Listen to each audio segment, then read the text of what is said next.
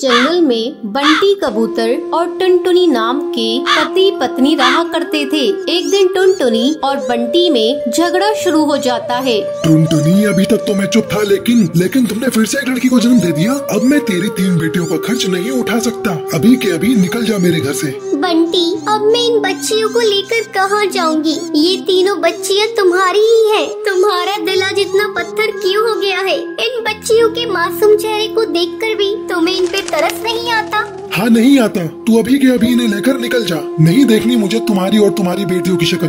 बंटी आज तुम जिन बेटियों को घर से बाहर निकाल रहे हो एक दिन तुम्हें इन बेटियों पर नाज होगा। मैं इन्हें लेकर जा रही हूँ। अगर तुम्हें एतराज़ ना हो तो मैं तुम्हारे पास वाले पेड़ पर झोपड़ी बनाकर उसमें रहना चाहती हूँ। जा जाकर रह ले। लेकिन लेकिन मुझसे कोई वास्ता मत रखना। टुनटुनी उस पेड़ पर झोपड़ी बनाकर उसमें रहने लगती है और पड़ोस के घरों में झाड़ू पोछे का काम करने लगती है। एक दिन माँ, बहुत जोरों की भूख लग रही है, कुछ खाने को दे दो। अच्छा बेटा, तुम लोग यहाँ बैठ जाओ। मैं अभी तुम लोगों को खाना देती हूँ। टुनटुनी अपनी तीनों बेटियों को खाना खाने के लिए देती है। माँ आप रोज रोज सूखी रोटी ही देती हो खाने को। जब हम पापा के घर थे तब हमें खिचड़ी भी मिलती थी खाने को। माँ पापा ने हम लोगों को क्यों घर से निकाल दिया? क्या बताऊँ बेटी पापा ने हम लोगों को क्यों घर से निकाल दिया? तुम लोग जल्दी जल्दी खाना खा लो। मैं कल तुम लोगों को किसी तरह खिचड़ी बनाकर खिलाऊँगी। रात में सभी सो जाती है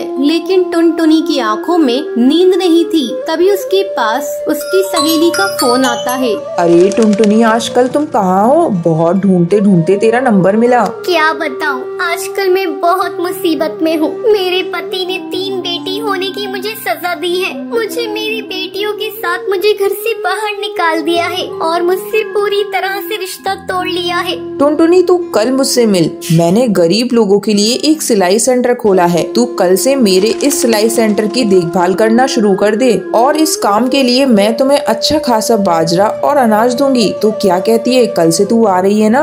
हाँ मैं कल आ रही हूँ। तूने मेरे बुरे समय में मेरा साथ दिया है। अगले दिन से टुनटुनी सिलाई सेंटर को संभालने लगती है। कुछ ही दिनों में टुनटुनी अपनी बेटियों का एडमिशन एक अच्छे स्कूल में करा देती है। माँ ये देखिए हम तीनों अपनी अपनी क्लास में फ़र्स्ट आए हैं। हाँ बेटा तुम इसी तरह मन लगाकर पढ़ना और एक दिन अपने माँ बाप का नाम रोशन करना। कुछ सालों बाद टुनटुनी की तीनों बेटियाँ पुलिस अफसर बन जाती हैं और अपनी माँ के साथ खुशी खुशी रहने लगती हैं। सुंदरवन जंगल में कालू कोए नाम का एक ढाबा था। वो बहुत ही ज़्यादा मशहूर ढाबा था। जो भी पक्षी वहाँ से गुजरता था, वो उसके ढाबे का खाना खाए बगैर नहीं जाता था। अब कालू कौए को इस बात का बहुत घमंड आ जाता है। एक रात की बात है, टूनी नाम की गरीब भिकारन चिड़िया उसके ढाबे पर आती है। कालू भैया, ऊपर वाले के नाम पर कुछ दे दो रे भैया। ऊपर वाला तुम्हें खुश रखेगा। मैं भूखी हूँ भैया? तुम्हारा होटल तो कितना बड़ा है। चल भाग यहाँ से। आई बड़ी बेकार जब देखो मुँह उठाकर आ जाते हैं। ये ढाबा है कोई धर्मशाला नहीं। ये कहकर कालू कौआ टूनी चिड़िया को धक्के मार के वहाँ से निकाल देता है। अगले दिन कालू कौए का नौकर चिंटू चिड़ा आता है। मालिक वो भिखारन टूनी चिड़िया ढाबे के बाहर भूख के मारे मर गई है। अब क्या होगा? अरे ये क्या हो गया? सुन चिंटू जल्दी से इसकी लाश को पीछे वाले कुएँ में डाल दे। किसी को पता नहीं चलेगा। अब वो टूनी चिड़िया की लाश को कुएँ में डाल देते हैं। ऐसे ही काफ़ी दिन गुजर जाते हैं। एक दिन रात के टाइम सोनू कबूतर अपने परिवार के साथ ढाबे पर आता है। पापा मैं तो मटर पनीर खाऊँगी। जल्दी से मंगवा दो।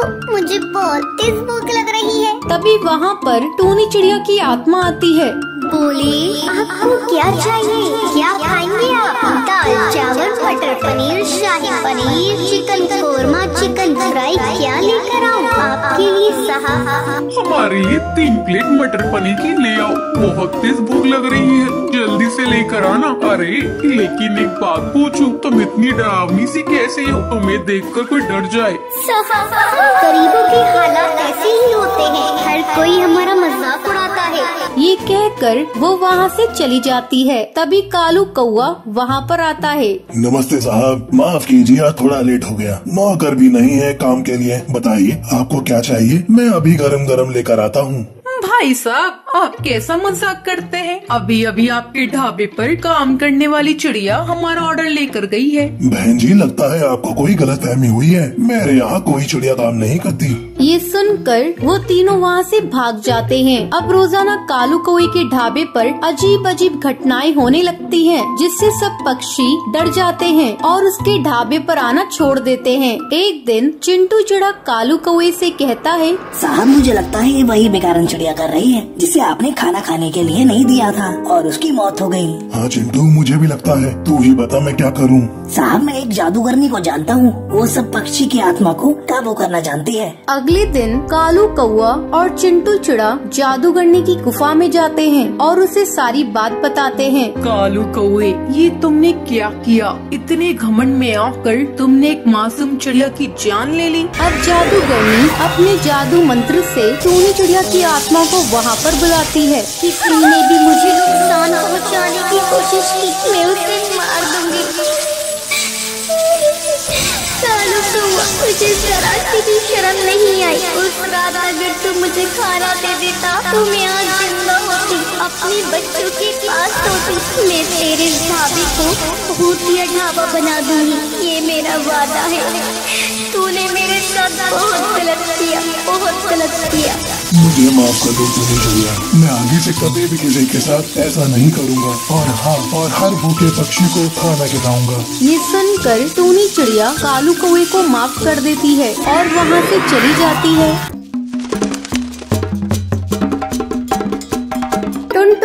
पानी पूरी बेचने वाली चिड़िया थी। एक दिन वो रोज की तरह पानी पूरी बेच रही थी। तभी वहाँ दो कौए माँ बेटे आते हैं। अरे ओ पानी पूरी वाली। दो प्लेट लगाना। अभी दे रही हूँ बहन जी। ये लीजिए। कालू बेटे पहले तू खा।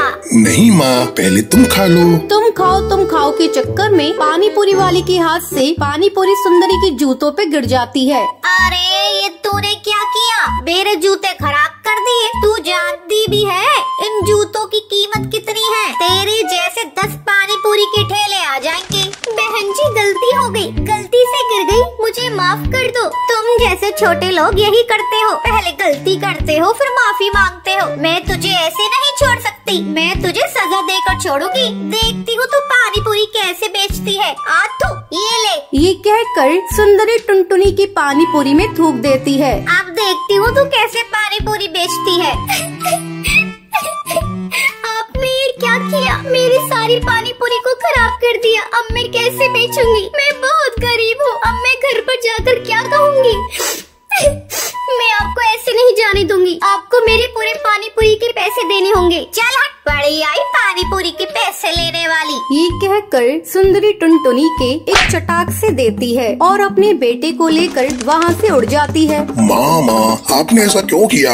आपने उसके पानी पूरी में क्यों दूँगा ये तो गलत बात है ना माँ? चुप हो जा। क्या गलत बात है? उसने मेरे साथ बदतमीजी की इसलिए मैंने उसको सबक सिखा दिया। इन छोटे लोगों को ज़्यादा चल इस पानी पूरी वाले ने तो मेरा सारा मूड ही खराब कर दिया। दूसरी तरफ़ टुनटुनी रोई जा रही थी। अब मैं क्या करूँ? घर जाकर माँ को क्या कहूँगी? और इस पानी पूरी को ले जाकर कहाँ फेंकूं? अगर किसी को खिला दिया तो बीमार पड़ जाएँगे। मैं इसे लेकर माँ के पास चलती हूँ। देखती हूँ वो क्या कहती है। टुनटुनी घर आती है। अरे टुनटुनी तू इतनी जल्दी घर वापस आ गई और तेरे आज पानी पूरी भी नहीं बिके। क्या बात है? Thank you. माँ क्या करो? एक कौए ने मेरी सारी पानी पूरी में थूक दिया। मैं कैसे पानी पूरी को बेचूं? क्या हुआ? ऐसे छोटे मोटे हादसे तो होते रहते हैं। अगर किसी ने एक दो पानी पूरी में थूक दिया तो तू उसे निकाल कर फेंक देती। बाकी तो बेच लेती। माँ मेरा मन नहीं करता ऐसे पानी पूरी बेचने का जिसमें किसी ने थूक दिया हो। ये तो ग्राहक के साथ धोखा होगा। अगर मैंने ग्राहक को धोखे से इसे खिला भी दिया तो भगवान मुझे माफ़ नहीं करेंगे। वो मुझे नर्क में भेज देंगे। बड़ी आई स्वर्ग में जाने वाली। तूने कौन से अच्छे काम किए हैं जो तू स्वर्ग में जाएगी? चल हट मैं जाकर पानी पूरी बेच कर आती हूँ। नहीं माँ मैं तुम्हें ऐसा नहीं करने दूँगी। ये लो मैं सारे पानी पूरी को ही तोड़ देती हूँ। टुनटुनी सारे पानी पूरी को तोड़ देती है। ये लो माँ मैंने सारे ही पानी पूरी को तोड़ दिया। कम बखत तुझे पता है तूने क्या किया? हम गरीबों की छोटी सी पूंजी होती है उसी में ही काम करना पड़ता है। आज तूने उस पूंजी को बर्बाद कर दिया। आज से तेरा चार दिन का खाना बंद। ठीक है माँ मैं भूखी रह लूँगी लेकिन झूठा पानी पूरी किसी को नहीं खाने दूँगी। जंगल से बाहर वैसे ही कोरोना से बहुत इंसान मारे गए हैं। मैं इसे जंगल में नहीं फैलने दूँगी। ठीक है जा अंदर। कुछ पानी पूरी रखे हुए हैं उन्हें ले जाकर बेच कर। आ टुनटुनी पानी पूरी बेचने जाती है। इस बार मैं अपने साथ कुछ गलत नहीं होने दूँगी। अगर मेरे साथ कोई गलत करेगा तो मैं उसका मुकाबला करूँगी। मैं इतनी कमज़ोर भी नहीं हूँ जो मैं किसी से हार मान लूँ। टुनटुनी दोबारा से पानी पूरी बेचने लगती है। अरे यू पानी पूरी वाली